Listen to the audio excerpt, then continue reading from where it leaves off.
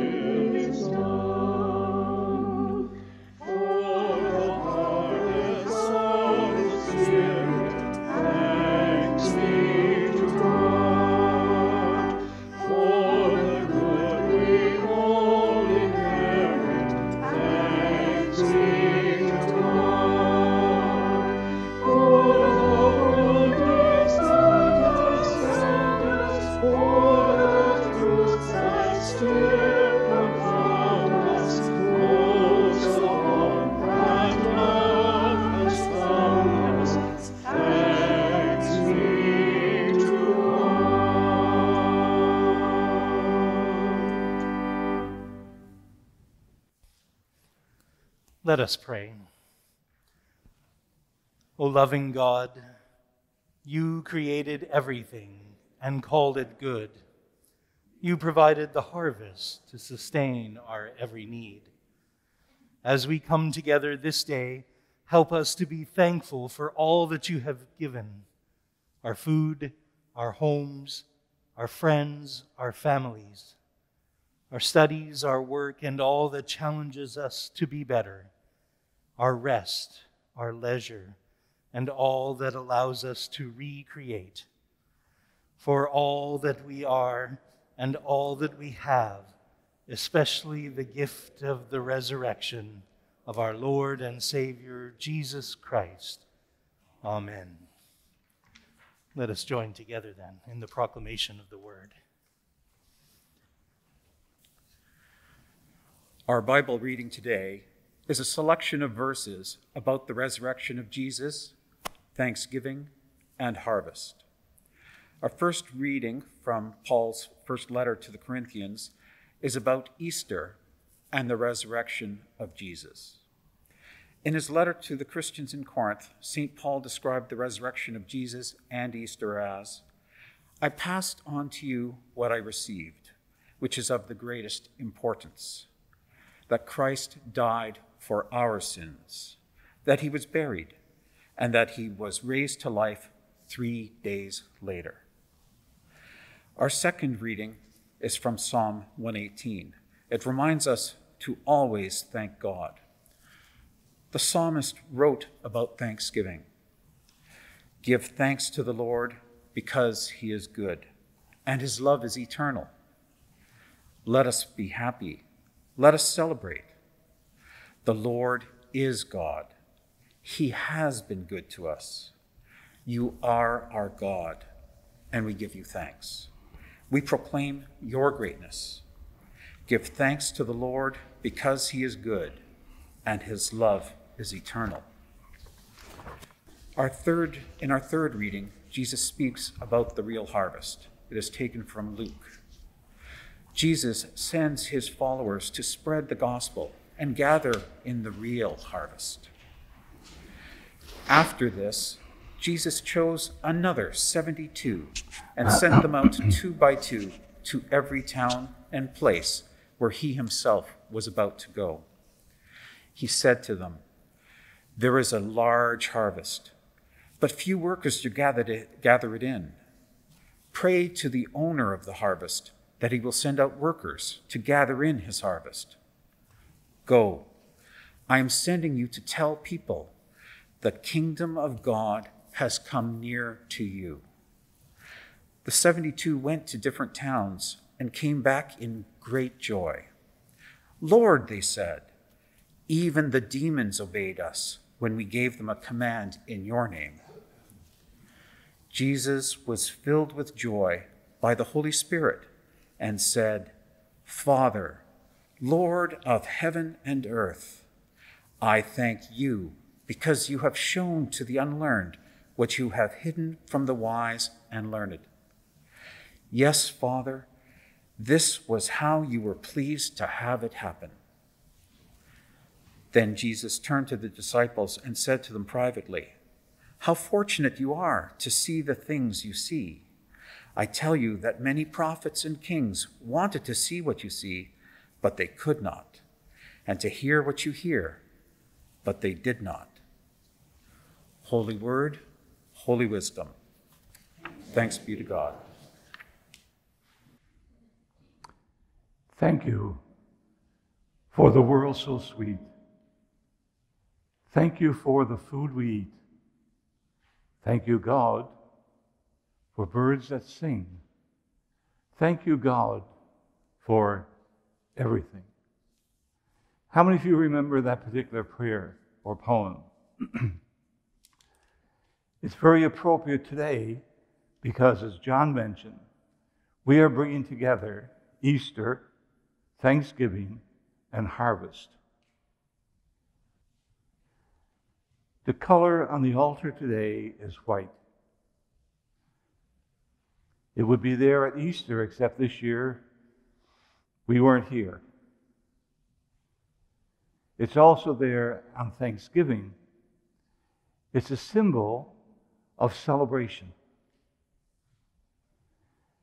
Also, in the front of the church today are flowers, multicolored, symbols of the diversity and the beauty of God's creation.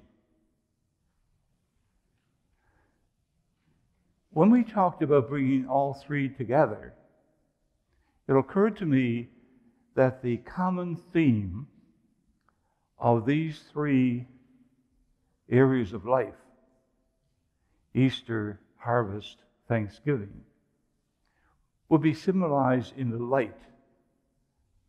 And so there are five candles in the front of the church.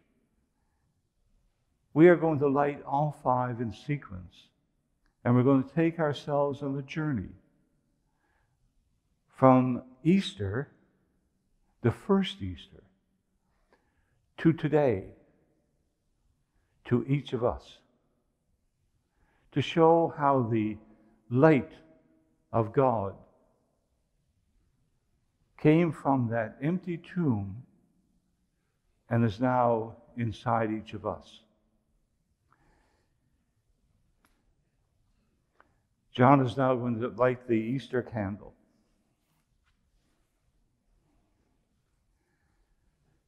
On Good Friday, the tomb was dark. But on Easter Sunday, as we know it and call it, when the followers of Jesus came to the tomb, there was a light. That wasn't the first time the light was in the world. It was there at creation. It was there in the manger when Jesus was born. And when the gospel writers decided to write their gospels, the writer known as John put it this way that there was a light. He called it the Word, God. And the light was so powerful that not even any darkness could extinguish the light of God.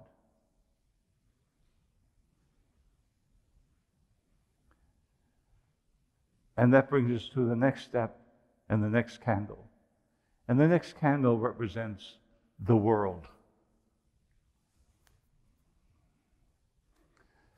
A few days after the resurrection, Jesus went to a hillside near Jerusalem, and there he gathered with his followers. And before leaving this earth, he said to them, Go into all the world and tell people about God, about the good news of God. God is love, God is light. And then he made them a promise. He said, No matter where you go, no matter what you face, I am with you always. The third candle symbolizes the church. When the followers of Jesus left that hillside, they branched out into all the cities, towns, villages around Jerusalem. And eventually they moved into the Mediterranean area, still fairly close. And as the small groups of people came together to talk about God and Jesus, they wondered what they should call themselves. About 30 years after the resurrection of Jesus, in Ephesus, a great city, the people who were gathered there wanted a name. The word that they focused in on was ecclesia, a Greek word for people who come together for a special purpose. And they decided that God had called them together for a special purpose to tell people about the love of God and the good news. And so they settled in Ephesus on the word church. In all the epistles of St. Paul in the New Testament, most begin to the church at. The fourth candle represents St. Christopher's. From Ephesus, the church branched out across the seas, down through the centuries, eventually to Canada, and came to Burlington. And sometime people got together in various venues houses, schools, other buildings. And they decided that they too had come together for a special purpose. And so they called themselves a church. Maybe somebody in that group remembered the commission that was given to the followers of Jesus on that hillside to go and tell people about the goodness of God. They decided to choose a name for their gathering, and they called it Christopher, which means Christ bearer. People who carry not just the name, but also the message and the love of God to all the people who come within their gathering. And this brings us to our fifth candle, which represents each of us individually and all those who cannot be here this morning for many reasons. And so John is now going to light that candle.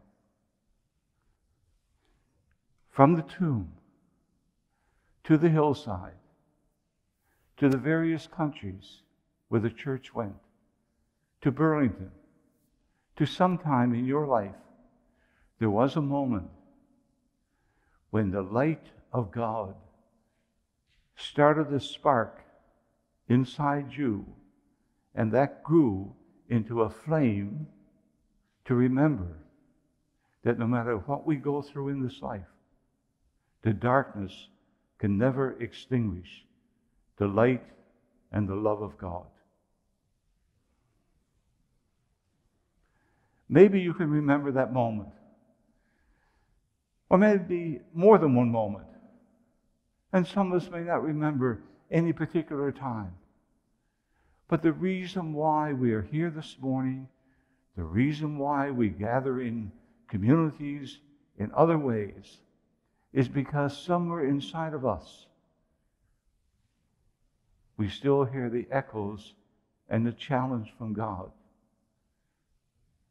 to be God's person in God's world for God's purpose.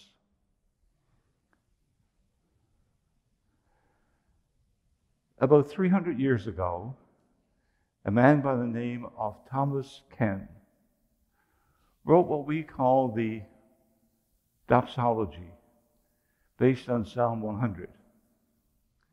And he started his by saying, Praise God from whom all blessings flow. I'm going to end by changing some of the words, especially the first word, and replace praise with thanks. Thank God from whom all blessings flow. Thank God, all creatures here below us. Thank God above, ye heavenly hosts, those who've gone from us into eternity, into eternal life. Thank Father, Son, and Holy Ghost. Amen. Let us join together in prayer. In the beginning, when all was darkness and chaos, God said, Let there be light. God sent Jesus as a human being, and Jesus said, I am the light of the world. And when the chaos of our lives is most threatening and hope is most bleak, God says, Let there be light.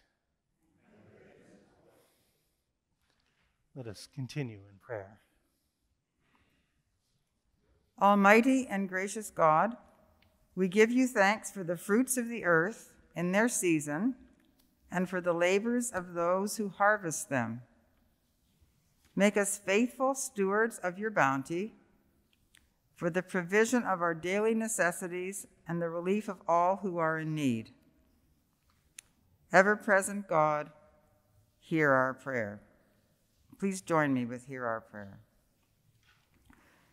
Lord of the Church, Make us faithful stewards of our time, talents, and treasures. Teach us to use our grace given gifts with generosity, compassion, and humility. Give a discerning spirit to our congregation as we continue our outreach ministries and meaningful worship.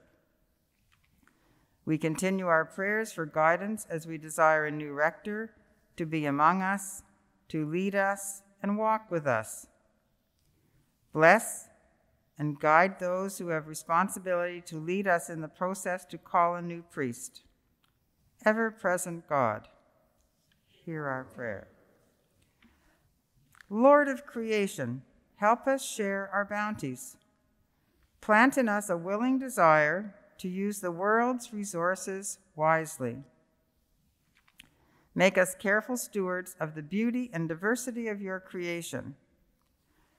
Give us clear eyes to see nature's beauty and wise minds to protect our home, this earth, from misuse and harm. Ever present God, hear our prayer.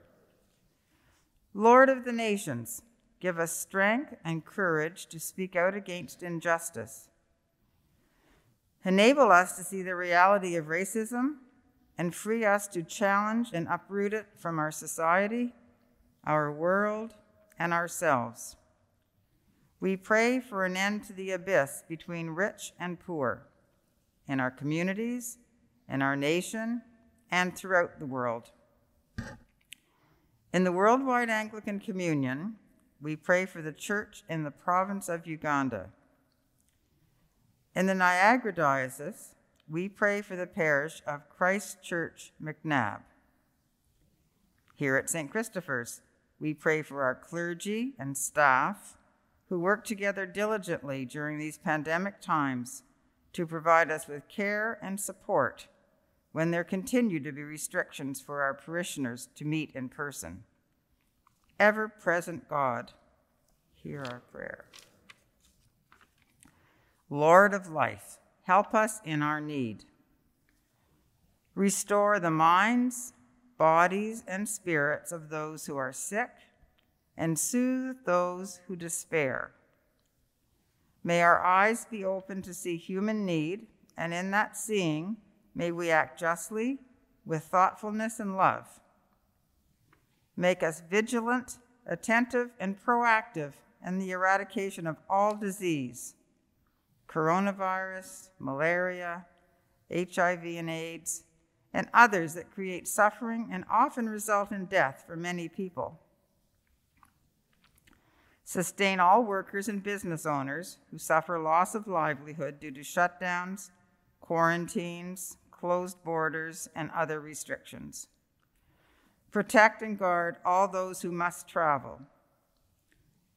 Comfort those who fear they will not be able to feed their families as they fear job loss as a result of COVID 19 business closures. May they have access to nutritious food and other services their families may require. Make us mindful that our Open Doors outreach programs and Community Food Bank need our ongoing support and contributions ever present God, hear our prayer. Lord of the resurrection, help us to rejoice in your promises. Gladden the hearts of those who grieve. For those who have departed this life and are in your love and care, ever present God, hear our prayer. Gracious God, we give you thanks for all your gifts so freely bestowed upon us. For our daily food and drink, we thank you, Lord. For our homes, families, and friends, we thank you, Lord. For minds to think, hearts to love, and hands to serve, we thank you, Lord. For health and strength to work, and leisure to rest and play, we thank you, Lord. Loving God, you created all people in your image. We thank you for the wonderful diversity of races and cultures in this world. Enrich our lives with ever widening circles of fellowship, and show us your presence in those who differ most from us, until our knowledge of your love is made perfect and our love for all your children. Through Jesus Christ our Lord. Amen. May the peace of Christ be always with you. Invite you to remain seated where you are and to share a gesture of peace with each other. The Lord be with you. Lift up your hearts. Let us give thanks to the Lord our God. It is indeed right that we should praise you, God of life and love, because your abundant generosity provides us with all that we need. For this and more, we join with grateful people throughout time and space to praise you in the song of the angels. Holy, holy, holy Lord, God of power and might, heaven and earth are full of your glory. Hosanna in the highest. Blessed is the one who comes in the name of the Lord. Hosanna in the highest. Above all, we thank you for the generous gift of yourself in Jesus, who came among us not to be served, but to serve he taught us to see the beauty of the lilies of the field and to trust in your bounty. He fed us with loaves and fishes and showed us how there is enough for all. He embraced the outcast and the unlovely to show us the boundless extravagance of your love. And at the end, he left us with this meal of thanksgiving and sharing, a sign of your selfless generosity to be celebrated and enacted every time we gather in your name. On the night before he was betrayed, Jesus gathered with his friends. He took bread and gave you thanks. He broke it and shared it, saying, Take and eat, for this is my body broken for you. Do this to remember me.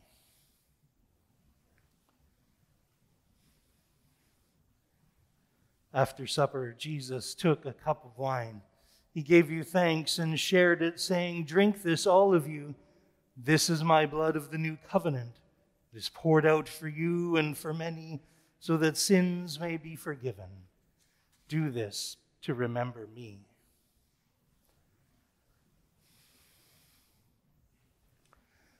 Gracious God, through this meal we remember the death and resurrection of Jesus and recommit ourselves to follow his path to abundant life. Amen. Let us pray then, as our Savior has taught us. Our Father in heaven, hallowed be your name. Your kingdom come, your will be done on earth as it is in heaven. Give us today our daily bread Forgive us our sins as we forgive those who sin against us. Save us from the time of trial and deliver us from evil. For the kingdom, the power, and the glory are yours, now and forever. Amen. These are the gifts of God, and they are for us, the people of God. Thanks be to God.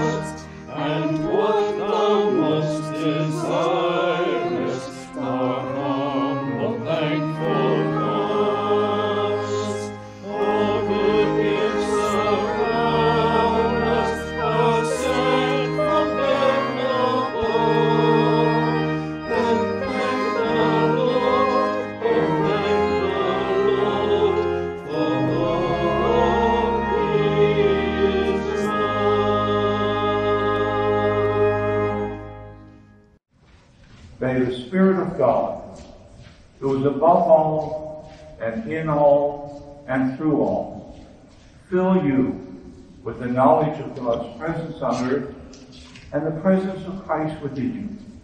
The blessing of God Almighty, the Father, the Son, and the Holy Spirit be with you this day and forevermore. Amen. Amen.